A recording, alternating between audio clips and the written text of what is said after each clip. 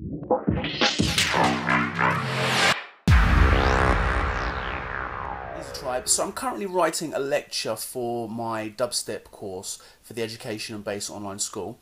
And I've had to do some extra research because some of you may or may not know I don't actually come from a dubstep background. I come from jungle and drum and bass, although I've had releases and an album out on Tempa. Um, so I've had to do some research into the genre because I'm a big believer in getting inside the aesthetics, the history, and the culture. And there were some gaps in my knowledge that I needed to fill. And I came across a really interesting quote from the Bug who said what turned him onto dubstep was um, in 2009 that everybody had their own voice, they were unique.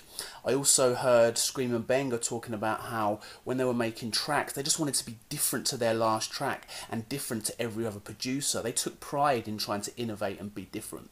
So, although imitation is a great way to learn, please um, consider that being unique and having your own signature sound is something that's crucial as a producer. Peace.